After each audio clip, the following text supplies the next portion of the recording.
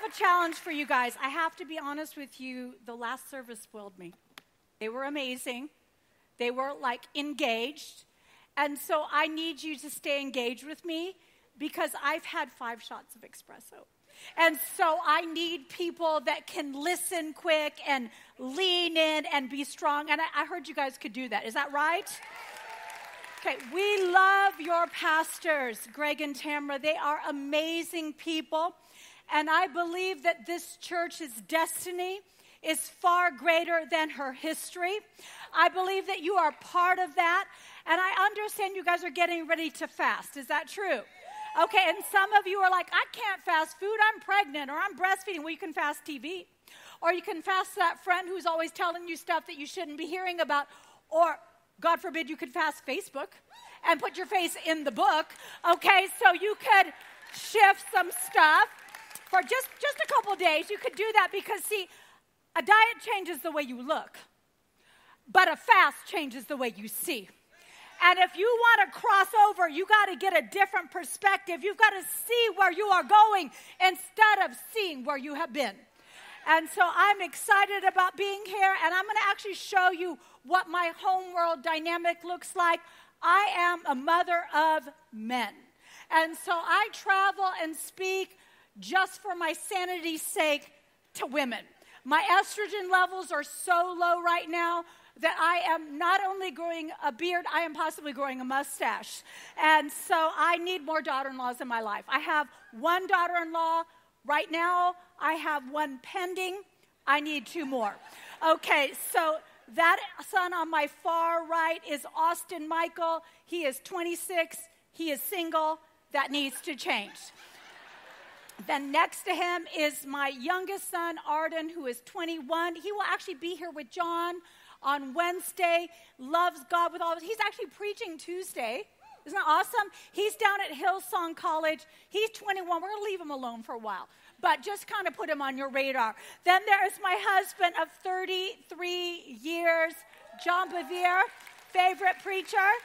My son, Alec, who is engaged thank God to a Hispanic girl, we were getting way too white. We needed a little bit of color, a little bit of spice in our life. And then my oldest son, Addison, who is all of the good and none of the bad of John and I. We need to pray that with our first child. And then I need to show you my grandson, Asher. Now, Asher is our first grandchild. He is awesome. I need to point out two things in this picture. Number one, the dead deer. Do you see the dead deer? Okay, that is a 16 point buck, 14 points, two point drop tine. Okay, I shot it.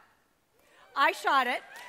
It lives in my house as a constant reminder to John that if there is ever adultery, there will not be a scandal, there will be a sniper attack.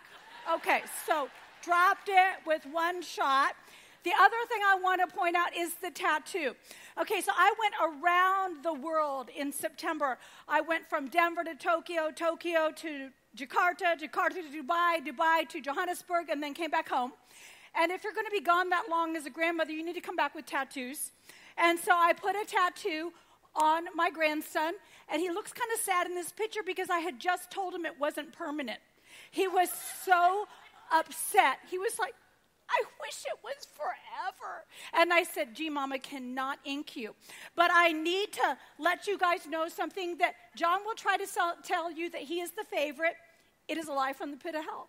He is not the favorite. I am the favorite. Our house is called G Mama's house. It's not even, John is even mentioned in the assignment of our house. Okay, he's never changed a diaper in the grandchildren, so, you know, he can't really be a friend. Okay, and then we have Sophia. Sophia is the first female born to my family in more than 50 years. We were, I was the last. We were so excited about Sophia. We thought a gentle breeze was coming in to bless us. I have to, yeah, you understand what I'm getting ready to say. I have to be honest with you, she is fiercer than all of the boys put together. Uh, she needs Jesus. And, uh, I think, I think I got her saved. I talked to her about separation uh, from God, and she did say, Oh, yeah, I know about separation because Marshall and Asher were fighting and they had to be separated. I was like, That's kind of part of what I'm saying to you. So I prayed with her last week. So, in Jesus' name, Sophia is saved. Praise the Lord. And then we've got Lizzie, and Lizzie is 19 months. She only started walking a month ago because she is so fat that she could not get her thighs centered over her feet. Uh, her feet are about this big, her thighs are about the same size as mine. We are not sure if she was trying to keep her center of gravity low to escape Sophia. Asher tends to be very nurturing. Sophia tends to drag people. I'm going to show a picture of all three of them together and it will explain what is going on here. Sophia can scream louder than anybody else on the face of the earth. Asher, we have to say, stop kissing, stop kissing, give the baby breathing space. Sophia, we have to say, let her go, let her go. Sophia, put her down. So anyway, that is kind of my world. And I have another picture for you. I'm going to show you a picture of something called the Tough Mudder. Any people here know what the Tough Mudder is? Okay, awesome. Okay, it is a ridiculous obstacle course race for people that want to be electrocuted, people that want to swim in ice cold water. It took place in Colorado in this particular one, and it was running uh, 10 miles at 12,000 feet above sea level, which a lot of people just fall when that happens. And that is my son right there, 10612. And he and his friends won the Tough Mudder. Okay, I was like super excited about that. I was like, okay, I made that possible. I genetically produced you. I mean, come on, my husband golfs.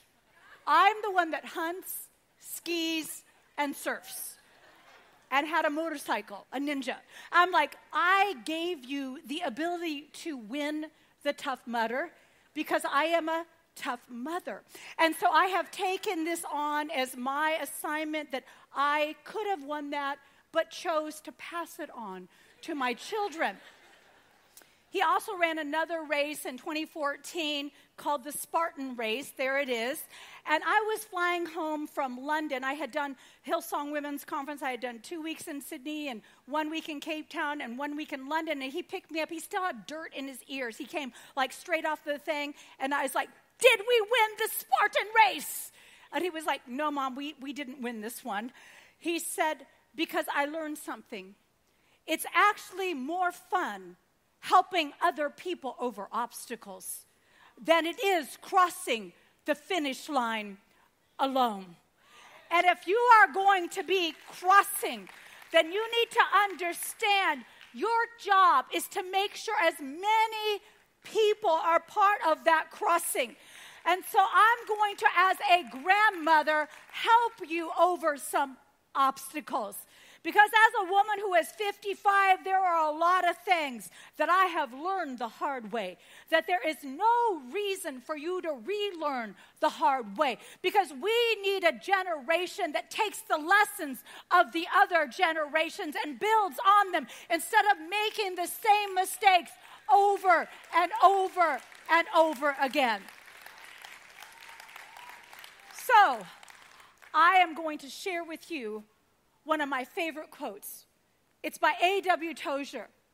It says, We, that means all of us, not just pastors, not just men, not just women, not just old, not just young, we collectively can be in our day what the heroes of faith were in their day. But remember, at the time, they didn't know they were heroes. I believe that I am standing in the company of a gathering of heroes unaware. I think you don't understand what is on your life or what has been entrusted to you, so I'm going to give you a visual. You have been entrusted with an invisible, invincible, eternal weapon it is the sword of the Spirit, which is the Word of God. And it is time we stop just merely studying the Word, reading the Word, and begin to live the Word of God. Because it's the Word of God that's made flesh that has power in our life. And we have not been entrusted with this Word to beat people up. I am so tired of the church being known for what it is against. We need to be known for what we are for. We use the Word of God to set captives free. Having said that, we don't back down from truth, we declare it boldly. And I get it right now. If you declare the word of God boldly, people say you are hating, people say that you are judging, but it is a lie. Matthew 10 26, verses 28, verse 26 28 says, Don't be intimidated. He knew that we live in a day and age where the enemy would try to intimidate us. Eventually, everything is going to be out in the open, and everyone will know how things really are. So don't hesitate to go public now. Don't be bluffed into silence by the threats of bullies. There is nothing they can do to your soul, your core being. Save your fear for God who holds your entire life, body and soul, in his hands. We are a people chosen for this time, and if you do not speak the word of God, if you do not speak truth, then who will? Come on, we need to be a people that do not draw back. To illustrate some of this, I'm going to tell you a completely carnal story. Do not write me letters. Do not write your pastor's letters. I'm just setting something up so you'll remember it. I traveled home on my 50th birthday from Great Britain. It felt like the longest day ever when you start in that time zone and you keep going to Colorado. It just keeps going and going and going. When I landed in Chicago, I called my husband and I said, If you are even thinking of throwing a surprise birthday party for me, I will divorce you. I don't want to have anybody in my house that I did not give birth to. He said, You're safe. Just come on home. So I came home. I brushed my teeth. I just dove into the bed.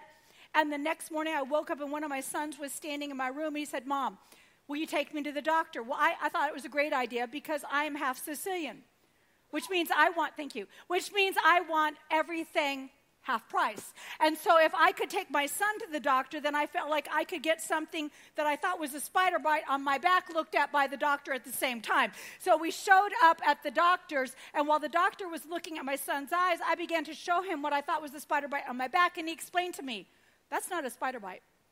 That is shingles. He said, You are grounded. You have pushed yourself too far. Now, a lot of people would be happy to hear that, but I was not happy to hear that. That Tough Mudder thing makes me think I can do whatever I want to do, and I don't like to hear that I have limits, so I wasn't going to tell my husband. But my son told on me. And so my husband said, That's it. You're grounded for the next two weeks. You live in your pajamas. And I was so sad. I was moping was walking around the house when all of a sudden I discovered I was not alone. I was home with my youngest son. We made eye contact and he patted the sofa next to him. I came running over, threw my arms up around Arden. Now, you need to understand why this would be so exciting for me. Because, see, Arden is my youngest, which means he had repeatedly asked me to marry him youngest son also means he would cuddle me during movies.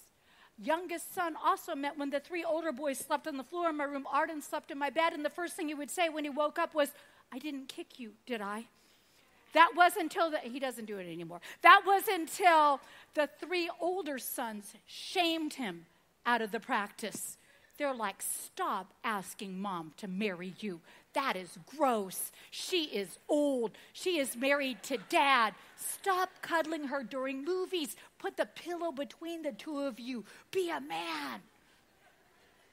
But they weren't home that night. Arms around Arden, I turn around and look at the television and I say, For the love of Jesus, Arden, what are we watching? He said, We are watching Terminator 1.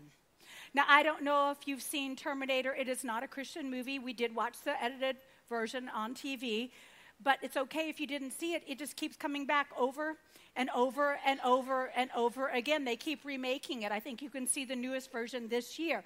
But basically, it is the story of Sarah Connor. She is a moped riding waitress, and every single day she goes to Marie Callender's and waits on tables, and every single night she goes home and waits by the phone hoping some blind date is going to work out for her. That is until Arnold Schwarzenegger, the former governor of California, and Maria Shriver's ex husband, comes back from the future. And he has one goal in mind, and that is to assassinate everyone with the name Sarah Connor. And it doesn't look like he will fail because he has in his possession the height of 80s data, which is a page torn out of the yellow book, and he is crossing them off one by one. When Sarah finds out she might be at risk, she did what a lot of us did in the 80s. She goes out to a bar. She's going to get lost in a crowd. But Arnold is relentless and he finds her there. Guns firing, people dying, bad dancing, stopping. But in the midst of this assassination attempt, her protector from the future shows up. And he grabs a hold of Sarah and he says, If you want to live, come with me. You might have heard this on the Lego movie. If you want to not die, come with me. Sarah's like, I want to not die. So she leaves with this complete stranger. And in the midst of running from the Terminator and wild chases and car wrecks and, you know, guns, her protector from the future is trying to tell her who she is. He says, In the future, you're a hero. In the future, we fight with the strategies you recorded for us in the future, your son is our general. Sarah's like, you need to stop right now. This is a horrible case of mistaken identity. I do not even have a boyfriend, let alone a son, but he continues to press her until she has a meltdown. And if you could see Sarah's hair, you would understand why. she yells, But I haven't done anything. And that is when her protector from the future says, No, but you will. And it was in that moment that I realized the enemy of our souls often knows who we are, long before we wake up and realize who we are, which just means it stands to reason that the attacks on your life up until today have much more to do with who you might be in the future than who you have been in the past. And the enemy will always get you to look at your past to negate your future. But I'm going to challenge you today to look at your past and say, what is so terrifying about me? That the enemy is working so hard to shut me down and shut me up and throw your shoulders back and say, I am going to find out what I am created to be and created to do. You need to know the two things that Sarah realized. Number one, you're a target. I don't know if we tell you that here at this church during altar calls.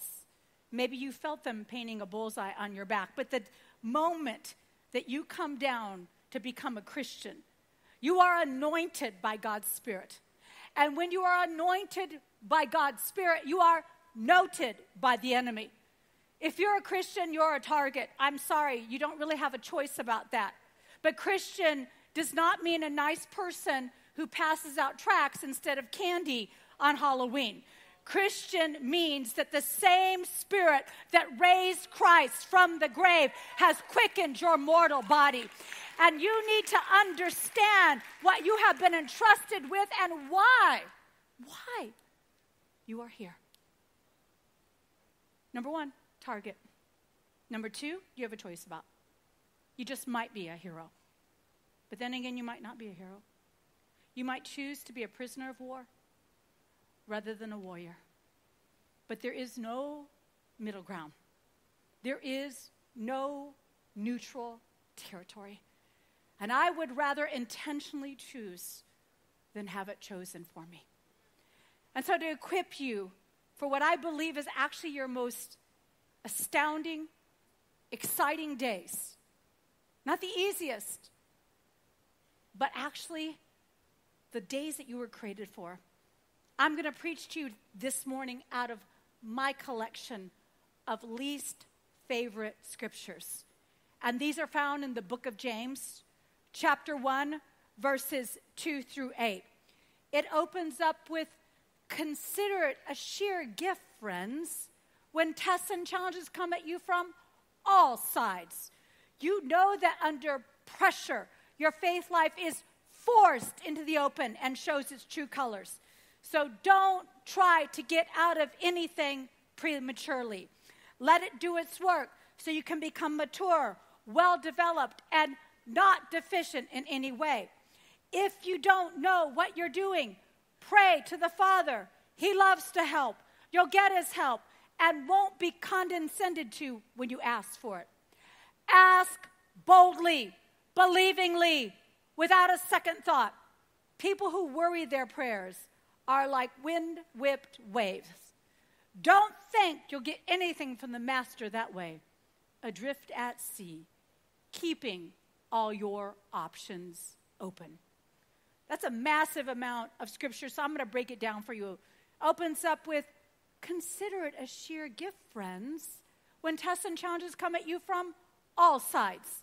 Another version has the audacity to say, count it pure joy, not mixed with any sorrow. I'm sorry, I, I, don't, I don't like that scripture.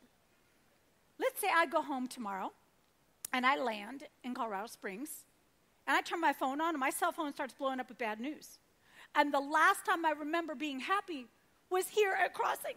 And so I call Pastor Greg and Pastor Tamara and I say, Oh my gosh, you cannot believe what has happened since I was at Crossing. I want to come back. My world is falling apart. And before I can finish telling my story, Pastor Greg says, What a gift. We are so happy for you, Lisa. Tamara, will you lead the three of us in song? You know what I'm going to do at that point? I'm going to hang up on Pastor Greg and Pastor Tamara, and I'm going to call my Greek friend, Christine Caine. Because her being Greek and me being Sicilian means we have an arrangement. I am angry on behalf of Christine, and Christine is angry on behalf of me. That way, neither of us sin. But the truth is, we might not be looking at this correctly because our God considers ambushes without any means of escape to be an opportunity to show himself strong. It goes on to say, You know that under pressure, your faith life is forced into the open and shows its true colors. I know that. I don't like who I am under pressure. I like who I am at the spa. I like who I am when I drink coffee in the morning. I like who I am in the pulpit. But that's not where my faith life is forced into the open. My faith life is forced in the open under pressure. In Colorado, we have one month on record without a blizzard. It is called July. That means that if I want to grow certain things, I have to go to Home Depot. And I buy those bulbs and I put them in my refrigerator drawer and I tell them a lie. I say, Rest well, my friends. You are having a mild winter when it's possibly three feet of snow outside. And then when it should be spring, but we still have blizzards, I put them on the windowsill of my laundry room that faces south and they begin to grow. And then when I know the last danger of a killing frost is gone, I put them outside and they bloom. It's a process called forcing them. And God is creating environments and atmospheres for you to learn how to bloom under pressure. We should do well under pressure. When the world caves, we're supposed to actually rise up. Sorry about me spitting. Okay, and it says, so don't try to get out of anything prematurely. What does that tell me? That tells me you can opt out. That tells me that you can say, I, am sorry, this is too hard for me.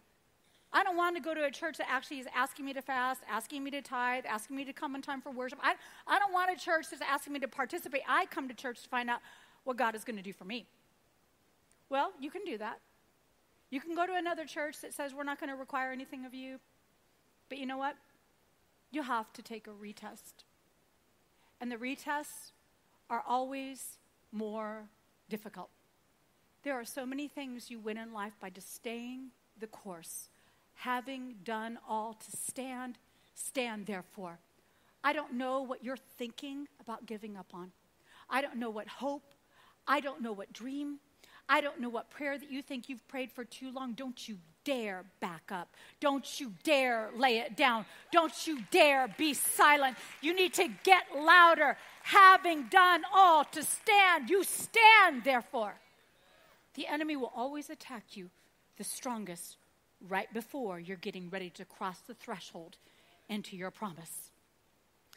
It says, if you don't know, it says, let it do its work so you can become mature, well developed, and not deficient in any way. You know, for too long, the church has been deficient.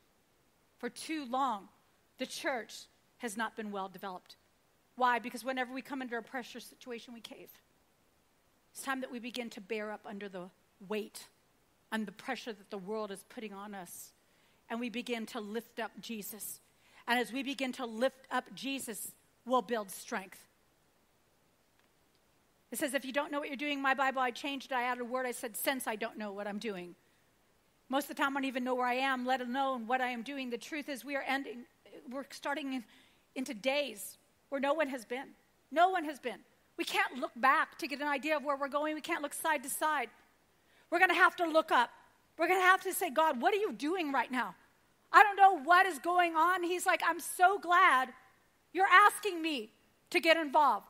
Since you don't know what you're doing, pray to the Father. Come on. We've come about to the end of what we can do in our human strength. We've come into an end of what our government's going to do for us. It's going to have to be thy kingdom come, thy will be done on earth as it is in heaven. He loves to help. You'll get his help and won't be condescended to. He's not going to say, Can't you figure this out? He's going to say, Thank you. I want to get involved in your life so that you can see the exceedingly abundantly above all you can ask, hope, and pray and believe. Now you're going to meet my husband, and my husband makes me look low energy. Okay, I'm planning on dying first just to sleep for six months before John comes up to heaven. My husband is so intense. And when he is, you know, he's like home for a couple days, he like goes out and he like comes back with vision and a Moses face. And in 2011, he was doing that to me. And I was like, What is going on with this face? You're going to do something scary, aren't you? And he'd be like, I'm just pondering some stuff in my heart. I said, Stop pondering. I need you to stop pondering and you need to debrief with your wife. And he was like, No, no, I'm just going to. I'm just going to share it when the Council of Four comes together. I don't even know why he calls it that because it's really only John that's the boss. And so when the Council of Four came together, John said, It has come into my heart to give away 250,000 books this year in Arabic, Farsi, Urdu, Chinese, Russian. I threw up in my mouth. I was like, wait a minute, wait a minute. The most number of books we've ever given away in a downturn economy was 60,000. How about we give away 100,000 books? How about we do something reasonable and doable? I watched my husband make a fist. I watched his fist come up. I watched it come down on the table. And he said, Lisa, my faith is attached to 250,000 books. At that point, we all stood up and said, 250. 250 is an awesome number. And then we joined hands and prayed a prayer that scared what was scared inside of us. If you are not praying the kind of prayers that scare you? What makes you think they're going to scare the enemy? Most Christians do not pray scary prayers, they pray scared prayers. Oh God, keep us safe. Oh God, it's so bad. Oh God, I think our president is a Muslim. Oh God, it's just dangerous out there. Okay, seriously? You do not allow your culture to form your prayers. You are supposed to pray the Word of God. You are supposed to pull down words that have been forged in the fire of heaven and speak the Word of God into your destiny, into your future. You're supposed to speak boldly and unafraid until what comes out of your mouth scares your ears. We're not supposed to pray safe prayers. We're supposed to pray faith prayers. Faith is a substance. Substance means it takes up room, it creates capacity. When you begin to pray something that's bigger than what you can do, something inside of you opens up. You know what I'm talking about. Something jumps inside of you. And you think, what did I just pray? You prayed something that heaven can get involved in. That year, we did not give away 250,000 books. We gave away 270,711 books. And last year, we gave away 2.4 million individual resources to people that could not ever have them because of persecution or poverty. To date, we've given away 6.5 million resources.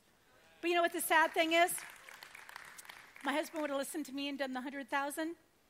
I bet we'd still be trying to figure out how to pay for it. God isn't interested in what you can do. He wants to get involved with you doing what He wants to release into the earth.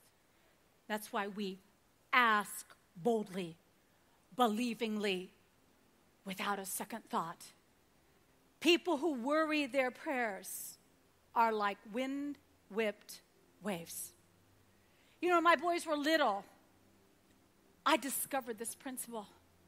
And I'd line up my boys in the, mor- in the night before they went to bed, and I would say to them, You are for signs and wonders and miracles. You are not for death and destruction. You are disciples taught of the Lord, and great is your peace and undisturbed composure. All that is in Isaiah. My boys were like, What's composure? I'm like, It doesn't matter. It doesn't matter. When you need it, it will be there for you. What was I doing? I was throwing the Word of God into my boys' future to enlarge their pathways. See, as a parent, I've learned something.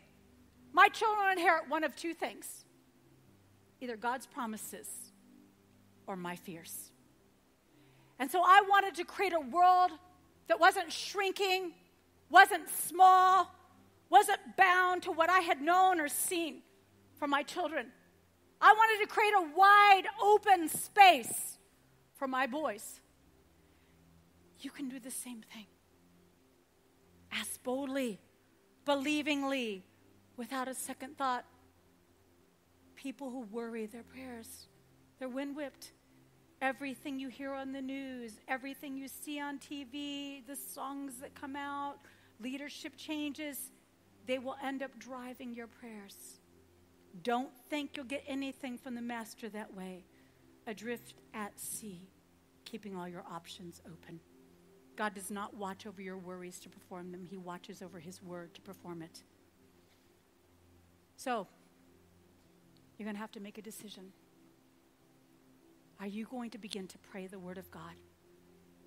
Or are you going to live according to the word of men? Are you going to live according to the fear of God or the fear of man? Are you going to tremble at his word and believe that he who promised is faithful?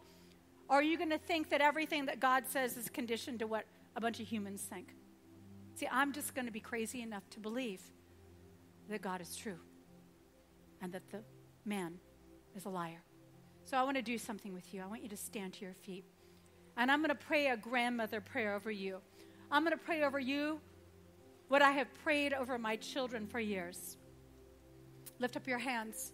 See, I believe in the last days we do it together the sons and the daughters, the old and the young, the signs and the wonders, and the visions and the dreams. So, Father, I thank you that these are a people who will see up close what other generations only saw in the distance. Father, I thank you that they're going to speak out loud what other generations only dared to whisper.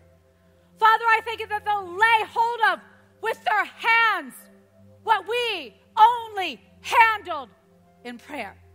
I thank you they're for signs and wonders and miracles, and they are not for death and destruction.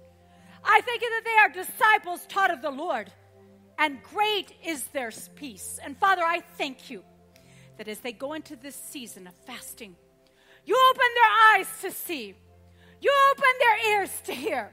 You open their heart to believe. And Father, dreams that were dead, you quicken them and give them back life in Jesus' name. And everybody that agrees say, Amen and amen. I don't like how the book of James opens, but I like how it closes. It says, So let God work his will in you. Say a loud no to the devil and watch him flee. Say a quiet yes to God, and he'll be there in no time. Says, purify your inner life. Quit playing the field because we're in a season of harvest. And in harvest, we don't play the field, we work it. You are laborers of God, walking in a day and a time unrivaled by any other day and a time. You have been entrusted with the Word of God. Have it in your life, become fluent in its language, and you will watch it transform everything that you now see as a reality that thy kingdom come and thy will be done. In Jesus' name, amen.